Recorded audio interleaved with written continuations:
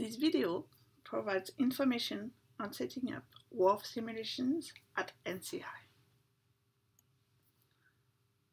First of all, you need to know where to find documentation. WRF has its own extensive documentation provided by NCAR. This documentation includes the manual, the tutorial, information on new releases, and a link to the WRF user forum. The CMS also provides documentation on specificities for NCI on our wiki. When porting the code to NCI, we also simplify the compilation so that you are only provided with options that are relevant to the NCI machine. Please use the information on the wiki and on GitHub to compile and install your code and do not redo what we have done for you.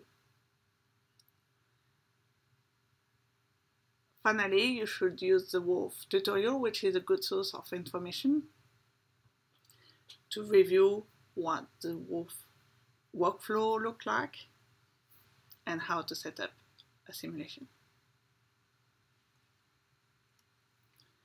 So how do you start using WRF at NCI? It is recommended to become a member of the SX70 project via my.nci.org.au.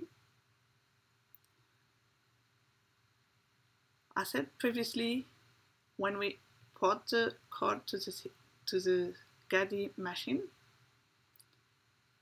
we have already set up all the options that are relevant to the machine.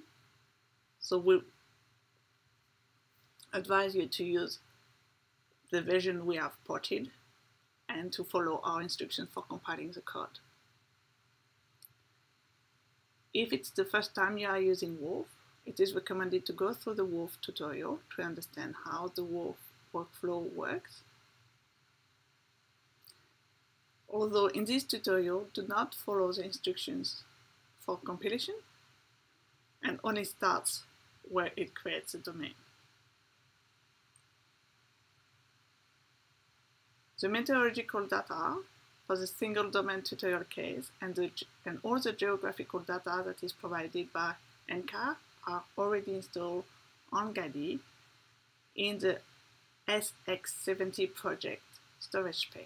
That is why it is useful for you to become a member of this project.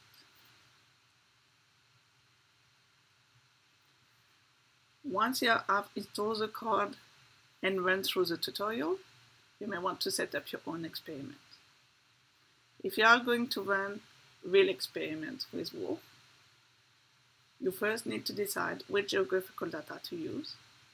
NCAR provides a range of geographical data from different sources and different resolutions. Please check the WRF documentation page from NCAR to, for more information. All of the data provided by NCAR is under the SX70 project space.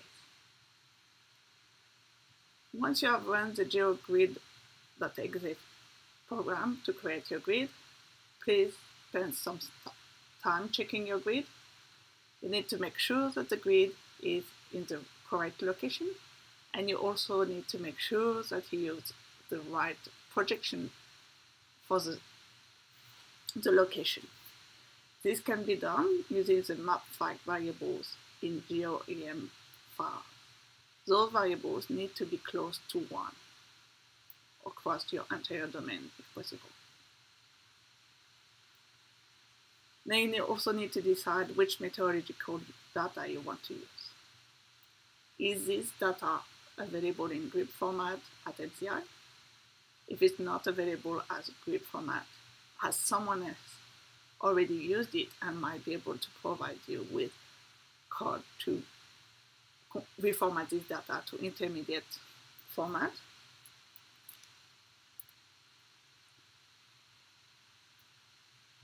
Finally, you will want to decide on the dynamic and physics options to use for your WRF simulation. Beware of creating your own mix. Some of those options are not coherent with each other and will not give you a scientifically sound simulation. Additionally, some of these options are only valid for a range of horizontal resolutions and should not be used outside of this range.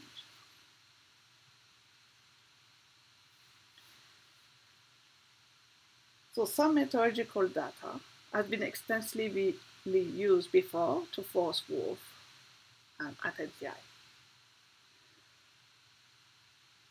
For those, some utilities or some information can be found to create forcing data for WRF.